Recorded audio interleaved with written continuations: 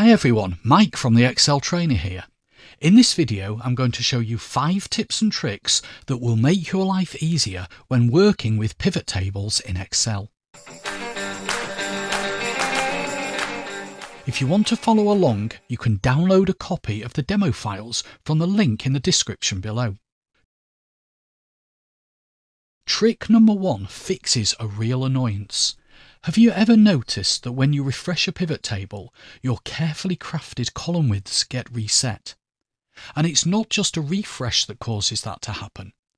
Adding and removing fields, sorting, applying a filter, in fact, pretty much any change you make to a pivot table results in the widths of the columns being set to auto fit.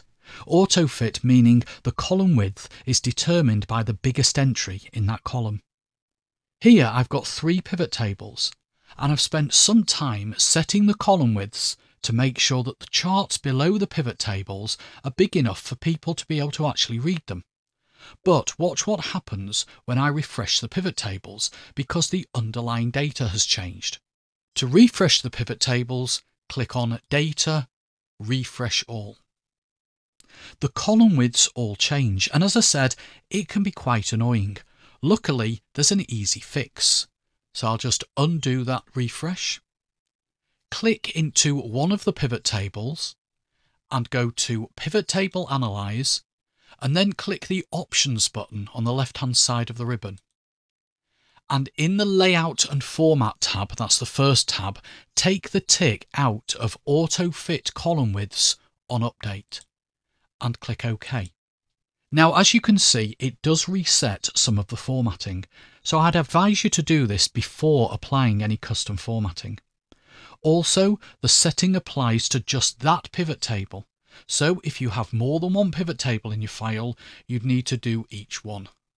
So now when I click Data Refresh All, the column widths do not adjust. There is actually a way to set this as the default, but that will only affect pivot tables created after you change the default, and I'll be showing you that later in this video. The next trick is how to prevent users accessing the underlying data. It's something that I get asked about on a regular basis.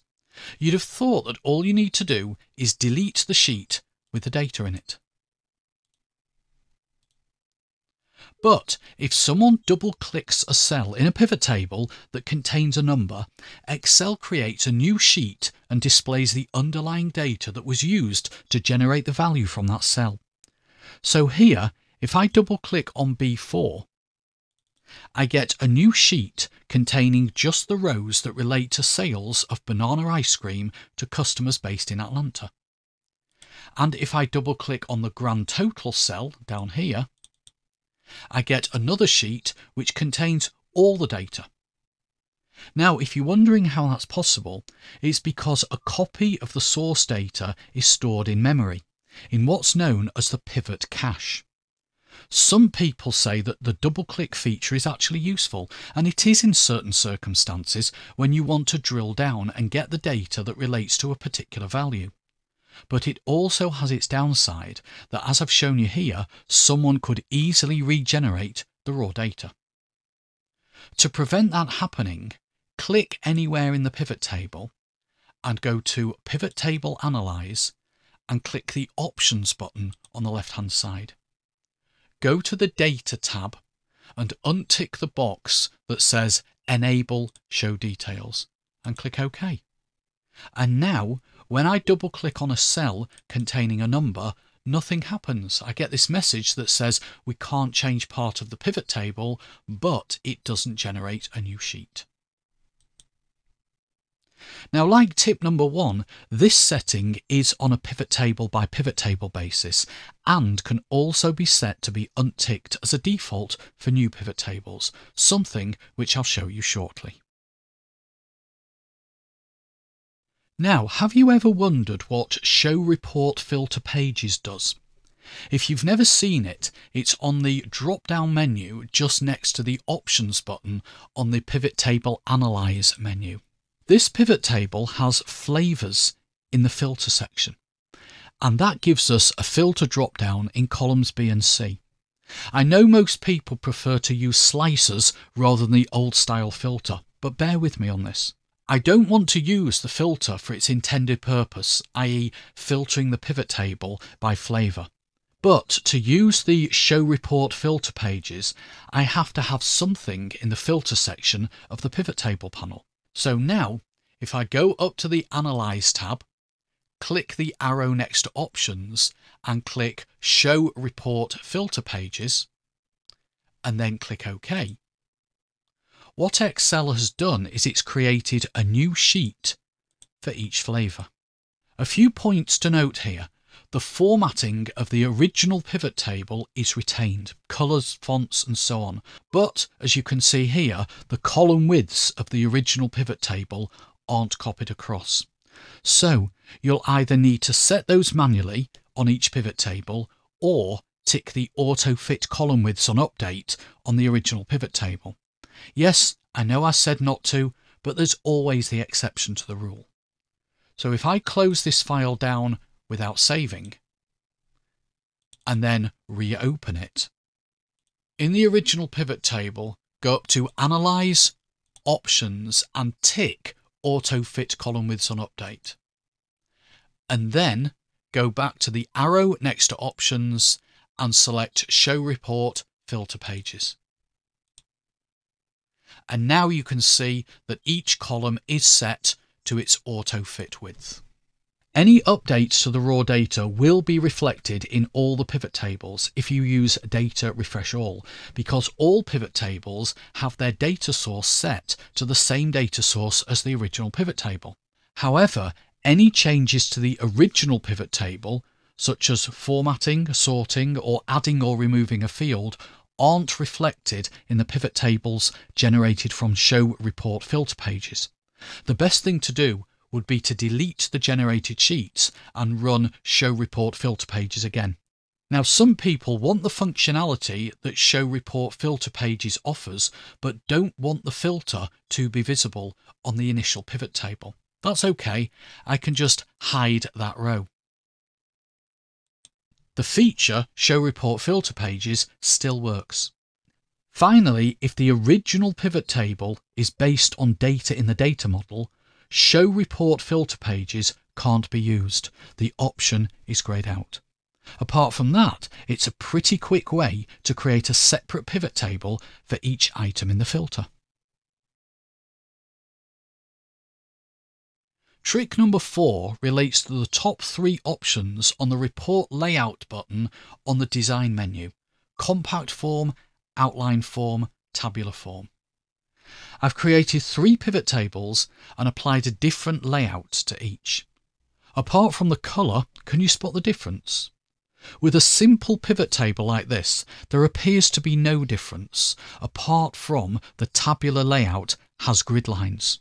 Although if you turn off the display of the grid lines for the worksheet, they disappear from the pivot table too.